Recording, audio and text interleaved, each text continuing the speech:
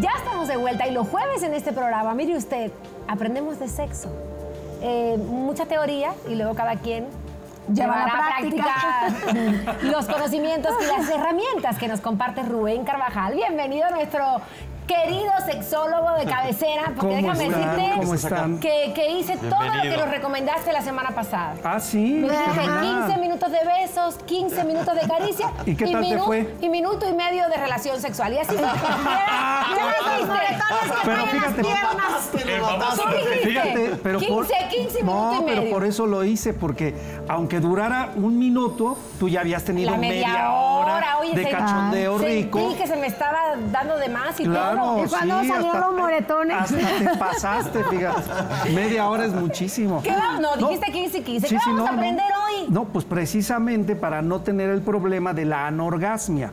¿Es Por- un problema o es una enfermedad? ¿Qué es? Pues muy buena tu pregunta, muy buena tu pregunta, porque realmente es un trastorno, es la principal disfunción de la vida erótica, principalmente femenina. Pero eso no Ah, quiere decir que ¿sí? los hombres no podamos padecer de anorgasmia.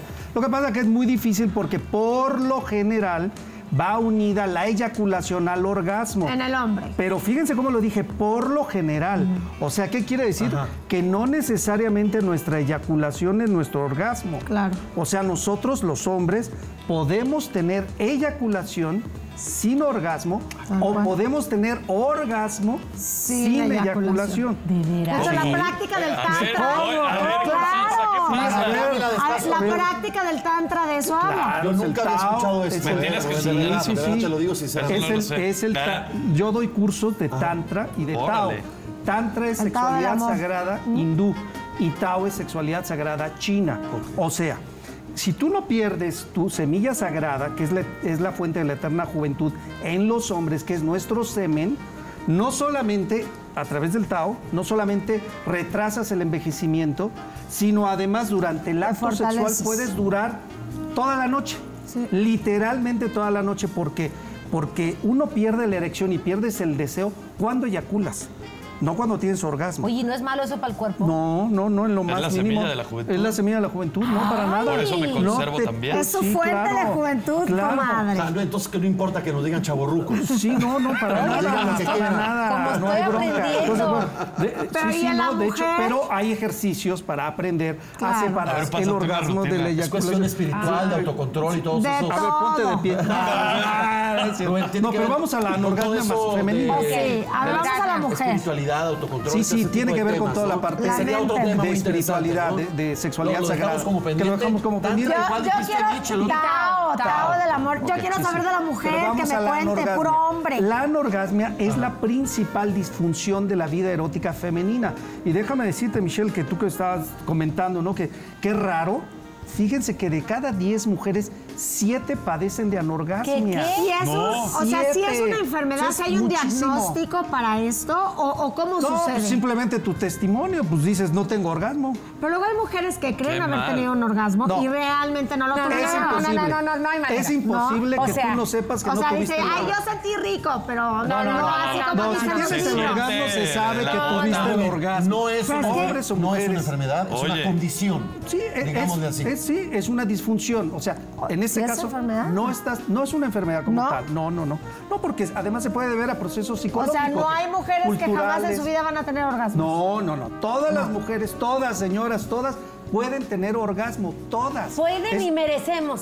Pueden, Claro. merecen y necesitan. Es su deber. Y, agra- y agrego, y necesitan el orgasmo. ¿Qué es lo que da? Porque eso es lo que te hace sentirte viva.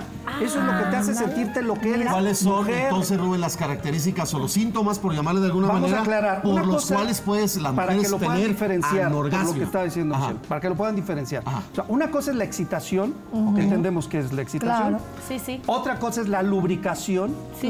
Entendemos que es la lubricación. Sí, sí, sí, sí. Y otra cosa es el orgasmo. La excitación se presenta. Luego la excitación genera lubricación. Ajá. Pero el que haya excitación y el que haya lubricación no necesariamente garantiza que va a haber orgasmo.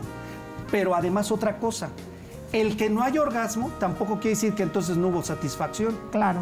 Puede haber satisfacción sin orgasmo. No, y no, también no, hay pero- mujeres Sí, no Sí, pero como el No masaje. es igual, pero sería pero- como el masaje sin final feliz. no, No. No, no, ¿Por qué? Porque el orgasmo es la cereza del pastel. Mira el potro, y si no te mira el comes potro. la cereza... Mira el potro con ojitos de qué habla. A ver, potro. Enséñale, Si no porque muy comes- chamaco, por A favor. ver, ¿Qué pasa? Eh, A ver, pero mi tengo- potro. Tengo A mucha experiencia en este tema. A ver, te vamos a domar, potro. Está muy chico, está muy venga. chico. El hecho de que tú no te comas la cereza al pastel no implica que no te comiste todo el pastel. Claro, eso es muy o sea, no- cierto. No, implica que no tuviste erección, no implica que no tuviste goce, no implica que no tuviste eh, eh, excitación, no, No. implica que a ella no le hiciste gozar, no implica ¿Qué que tú no salgas feliz, pero lo otro es como que el clímax de tu satisfacción. Ahora, la en el, explosión. en La el caso de explosión. las La explosión. mujeres, Que somos las mujeres que- multiorgásmicas. que- En no, yo- ya no, te y los fuiste a hombres también somos multiorgásmicos. Ya te fuiste a tu Oye, plática. Yo, yo, yo le, que- le quería decir Yo de la anorgasmia, las mujeres que tienen esta situación,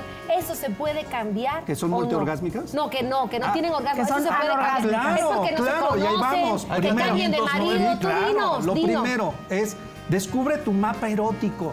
¿Qué Descubre es tu descubre cuerpo. tu mapa? La exploración, o sea, Explora. descubre dónde sientes más, cómo te gusta, si suave, si con presión, si con pellizcos, si O cómo. variado. O variado, ¿sí? A ver, ¿cómo? O variado. sí. Variado. Entonces, ¿qué tienen que hacer? La autoerotización, o sea, hacerse el amor a ellas mismas. Ah, caray. Pues sí, claro, porque si no, comadre, ¿tú ¿cómo pues si no, sabes? ¿cómo Hay que exiges? encontrar- ¿Cómo, Comprarlo. cómo sabes dónde sientes? No, y bueno. cuando tú descubres dónde sientes, ahí te clavas, ahí trabajas más hasta que llegues a culminar en el orgasmo.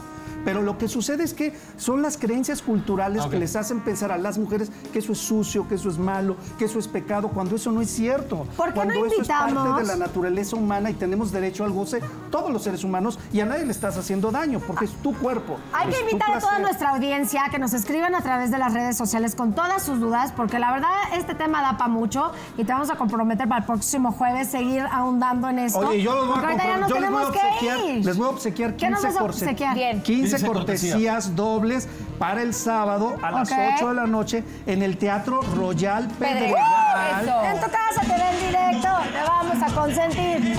Hay que ir a disfrutar y a divertirse. Sí, a la Al obra. 55 19 96 6210 que nos cuenten su caso de anorgasmia.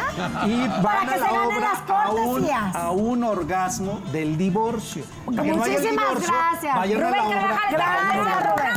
Muchas gracias. Ahora hacemos contacto directamente con nuestro compañero Fernando que nos tiene información. Creo que me dicen que está en Tlalnepantla. Ahí está Fer, adelante, vamos contigo. Estás en directo.